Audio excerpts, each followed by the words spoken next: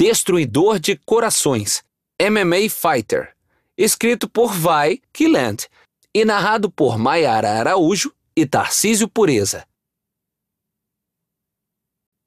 1. L. Eu queria acreditar que meu passado não me segue como uma sombra em um dia ensolarado e da qual eu não consigo fugir. Eu tenho uma vida boa. Eu sou inteligente, tenho um bom trabalho, pernas longas, seios bonitos, e já me disseram mais de uma vez que o cara com quem eu saio é um ótimo partido. Então, por que é que quando eu olho ao redor, procurando por William no restaurante lotado, parte de mim espera que ele tenha se levantado e ido embora? Quem aos 27 anos de idade deseja levar um bolo? Aquela que vai continuar caminhando pela vida no piloto automático, a não ser que circunstâncias em minha vida perfeita forcem uma mudança. A perfeição é altamente superestimada. Eu sou uma personagem na minha história, passando pelos capítulos da minha vida como se fossem escritos por uma pessoa imaginária, quando eu deveria ser a autora.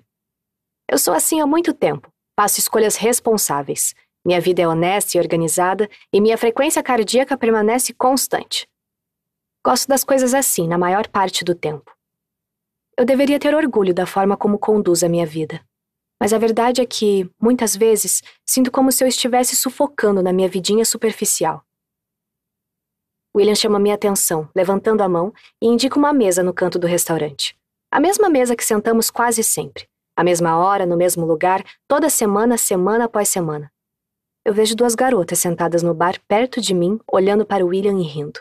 Seus queixos caem quando elas percebem que ele está acenando para mim e nem sequer as notou. Abro meu melhor sorriso falso quando William, sempre um cavalheiro, levanta-se quando eu chego à mesa. Ele me beija no rosto e envolve o braço ao redor da minha cintura com um toque familiar. Desculpe, estou um pouco atrasada. Faço meu discurso ensaiado, enquanto sento em meu lugar. Não tem problema, eu também acabei de chegar.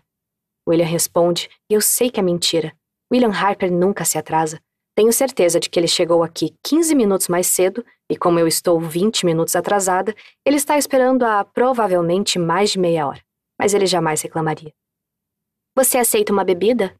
A atenciosa garçonete sorri para William, apesar de seu discurso ser dirigido a mim. Se eu fosse do tipo possessivo, seu flerte explícito provavelmente me irritaria. Mas eu não sou.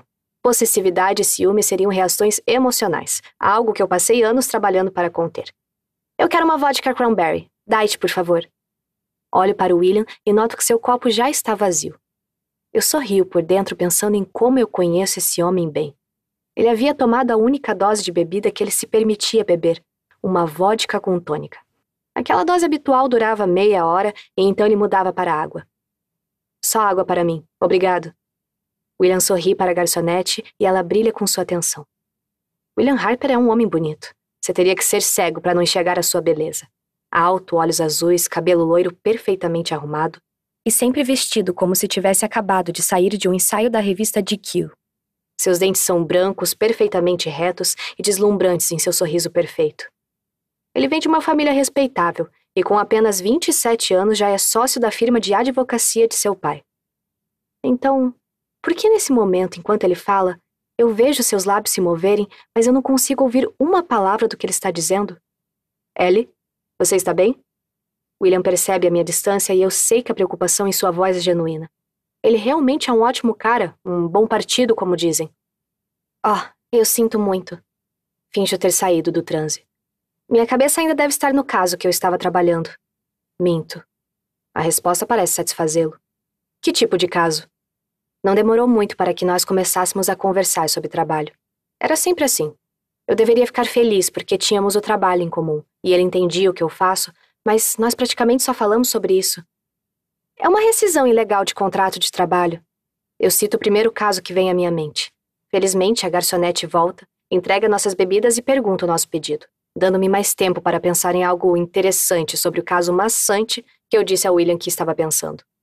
A garçonete se afasta e um casal mais velho se aproxima de nossa mesa. Você é Bill Harper Jr., certo? O filho de Bill?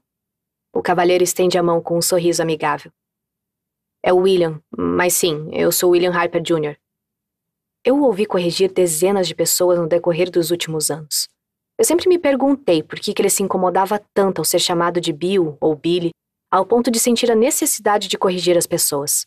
Afinal, quando alguém usa um apelido, está querendo ser amigável, não é? William tem um jeito educado de corrigir as pessoas sem ser grosseiro. O engraçado é que eu me pergunto por que isso o incomoda, mas nunca perguntei. Os dois homens conversam por um tempo, e em menos de 10 minutos William dá um cartão ao homem, sugerindo que ele faça contato, e o homem promete ligar para o escritório no dia seguinte. A maneira como ele faz isso não é desprezível como se fosse um trem de carga. William é suave e profissional. Isso provavelmente é natural para ele, já que seu pai, avô e irmão também são advogados. Nós terminamos nosso jantar sem mais interrupções. E nossa conversa é fácil e natural. Tem sido assim desde que nos conhecemos, no último ano da faculdade de Direito. Nós nos demos bem instantaneamente. E eu o consideraria um dos meus amigos mais próximos se eu não estivesse dormindo com ele uma vez por semana pelos últimos 18 meses. Aluguei Possible Cover. Eu estava esperando que você fosse para minha casa depois do jantar. É a cara de William alugar o mais novo filme de ação que ele provavelmente irá desprezar, só porque eu sou uma viciada em filmes desse gênero. William é um apreciador de filmes de arte e Woody Allen.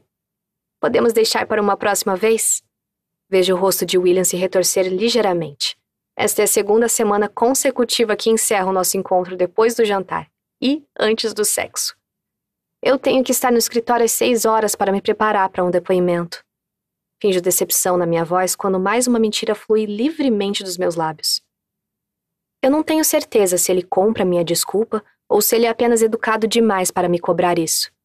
Mas eu não me importo. Eu não estou de bom humor hoje. Nos últimos meses, a nossa vida sexual se tornou um desafio para mim. Porém, William parece não ter notado. Não é culpa dele também. Ele tem um bom equipamento e funciona bem, na maioria das vezes. Mas ultimamente tenho tido problemas para conseguir chegar ao meu lugar feliz durante nossas noites juntos. Talvez isso fosse parte do problema. Se eu quisesse um final feliz com William, eu tinha que chegar lá por conta própria. Ele simplesmente não parece mais ser capaz de me fazer chegar lá, sem que eu tenha que agir. Então, pareço ter me tornado uma daquelas mulheres que fazem sexo uma vez por semana e que precisam fingir. E eu não estou com vontade de fingir mais nada essa noite.